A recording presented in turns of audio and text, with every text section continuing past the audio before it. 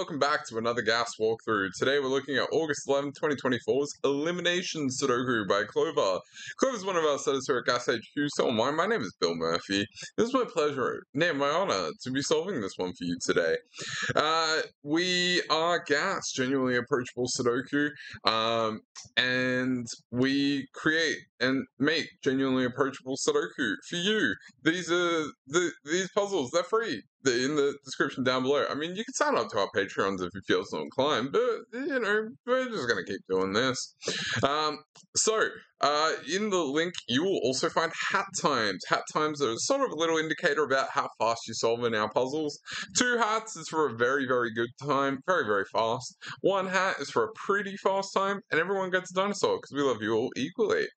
Uh, that being said, let's get into today's puzzle. Uh, oh, and also, as always, if you drop your hat time in the comments, uh, my dog will get one pat per hat. So, uh, she is very much counting on you to uh, be good. Psst, she's just gonna get pats anyway. It's fine. Don't worry about it. Um, all right. Uh, yeah, let's let's just get into today's puzzle now. Uh, this is elimination Sudoku. It's part of our guess what tomorrow's variant is for August. Um, so, uh, normal Sudoku rules apply. If you've never seen a Sudoku before, place the digits 1 to 9 in each box, each row, and each column, once each. Now, if a digit appears in a cell with an arrow, like that one, it cannot appear uh, in any of the cells that that arrow points to. So, if I put a 2 here, I could not put a 2 in either of those cells that's it. That's all you need to know um, to solve this puzzle. Uh, so, I'm about to kick this one off. I'm just going to reset my timer. Um, but I'm going to kick this off. Let's get going. Don't forget to give it a go before. So, uh, this is a naked single. Uh, this is a 2. Uh, this is now a 3-7 pair. And this is a 1-5 pair. Uh, this is four, five, six, eight, nine. I'm not going to pencil mark, mark that just yet. Now, uh, anytime you see a pattern on the variants in a Sudoku where it goes around the grid, um, what we've probably tried to communicate is that uh, the same logic can go the whole way around. Now, where does one go in box two? So, one can't go in either of these two cells, so it must go here. But if one went on the arrow, then how do I get a one here? Hmm. So one can't be here, so one must go there. Uh, where does three go in this box? Well, three can't go in those cells. Three can't go down here because we've got a three here, so that's three. Uh, now we need to place, uh, what am I looking at down here? It is a five. Five cannot go in that cell because we got a 5 there. So that's a 5. Uh, and 7. 7 can't go in that cell, so 7 must go there. Uh, so that's that's a really good dent into today's puzzle. Uh, this is 2, 3, and 4. I'm going to clean it up in a second before anyone uh, jumps into the comments. Uh, so that's 7, 8, and 9. Now, Seven can't go here because we have a seven there. Two can't go here because we have a two in the row, but it, we also can't put a three there because we have a three along this diagonal. So this is four. We'll take the four out of here. This two, three pair points down to here, seven and three. Now, uh, this this cannot be a one because I've just put a one up here. So I'll take the one out of there. It means one has to go in one of those two cells, but it means one can't go here, crucially. So that's 5 and 1. We'll take the 5 out of here.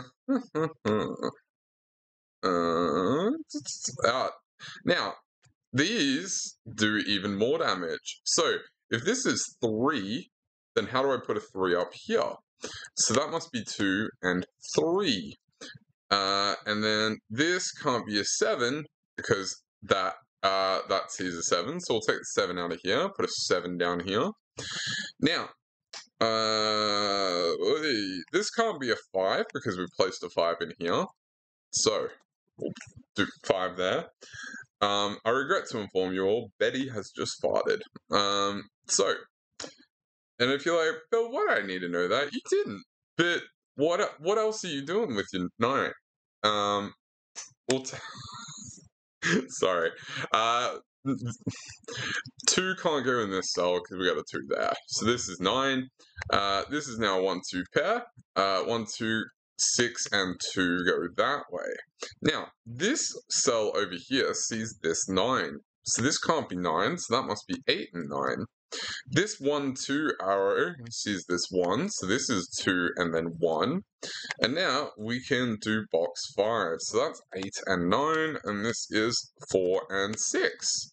Uh, yeah, that's that's pretty cool. That's pretty funky. Now, uh, pa, pa, pa, let's so, when you get to this point in a Sudoku, the thing you want to be doing is you want to be examining where you think you have the most information. Now, that's going to be like your row three, your column three, and your row seven, and your column seven now. So, let's do that.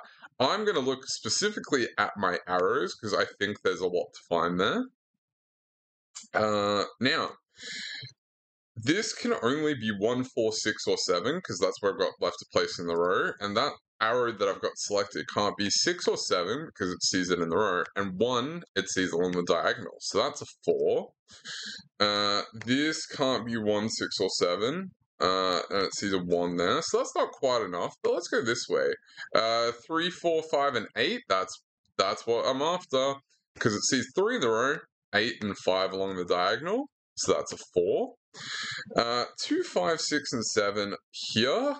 This arrow sees 2 and 7 along that diagonal, and 5 there, so that's 6. Uh, 2, 5, and 7 there. Mm, yeah, 7 there, 2 there. So that's a 5, meaning this is a 2 and a 7. We have a 7 here, which tells us which way around that goes. Let's have a look. I just, I, I still can't finish off uh, column 7, but I can put a 5 because 5 can't go there, 5 can't uh, see that cell, so that must be a 5. Uh, 1, 3, 6, and 9 to go here. Uh, this cell sees 1, 3, and 9, so that must be a 6.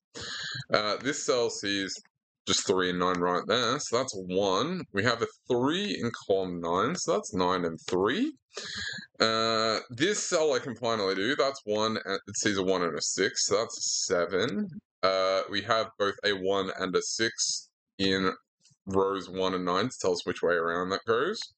Uh, 3 and 8, how can I still not do that? Mental. Alright. Anyway, we are mostly just down to classic Sudoku now. Um, but uh four. Where does four go in column one? Four goes here. Um oh, I can just do that. That's a five. Uh, this is an 8 9 pair, which means this is 2 7. I know which way around that goes because I've got a 7 in row 2.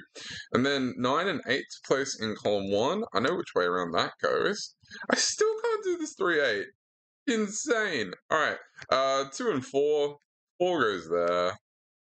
Two. Uh, this is three, five, and eight. Uh, no, not three, five, and eight. Uh, that's a one, eight. Thank, thankfully, I can now finish that off. Uh, three there, one there. Um, now we're just cleaning this up. Uh, this has been Elimination Sudoku by Clover. My name's still Bill Murphy, and, you know, wherever you are in the world, I hope you have a fantastic rest of your day, and I will catch you next time. Cheers.